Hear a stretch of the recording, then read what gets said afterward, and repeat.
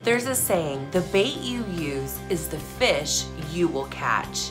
Well, what bait are you using? That is what's coming up next.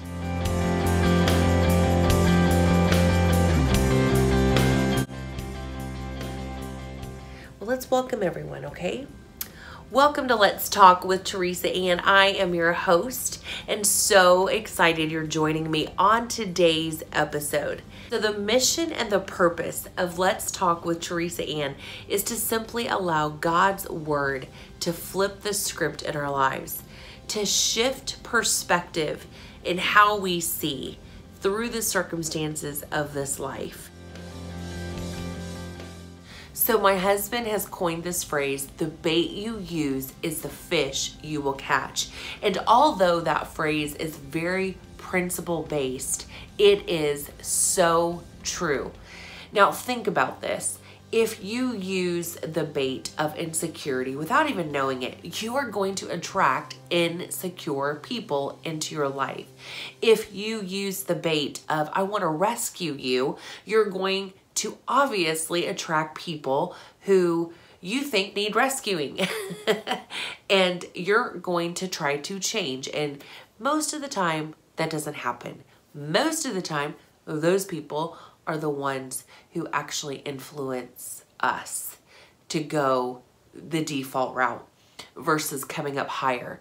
So with that said, that's a whole nother show. But I want to highlight how God uses the bait of kindness and goodness to lure them back to Him. So, are we using a bait of judgment and criticism toward people? If we are, then without realizing it, we're actually luring them to the enemy and not to the Father. In Matthew 4, it says, One day as Jesus was walking along the shore of the Sea of Galilee, he saw two brothers Simon also called Peter and Andrew throwing a net into the water, for they fished for a living. And Jesus called out to them, Come and follow me, and I will show you how to fish for people. And they left their nets at once and followed him. So, being that God uniquely designed every single person, they're all fearfully and wonderfully made.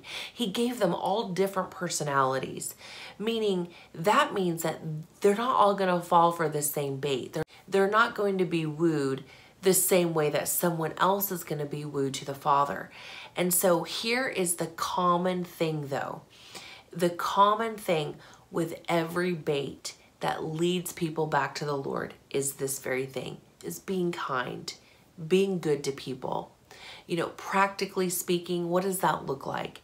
That can mean simply mowing someone's lawn, bringing a cooked meal over for someone, or maybe it's just sending an encouraging letter in the mail, or maybe a text or an email.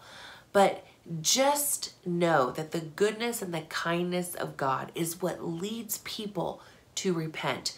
Repenting is not what we think in just the aspect of crying out and confessing what we've done wrong, but it's also turning around our life, turning our life around and now facing and following after God. So here's the best part of it all. You don't have to try to figure out what bait to use all you do is you go to the greatest fisherman of all, our Almighty God, by the power of the Holy Spirit within you, and you say, Holy Spirit, will you show me what bait to use for that person? He already has it, He already knows how. He will give you creative ideas on how to do it. If that person is analytical and maybe scientific, guess what?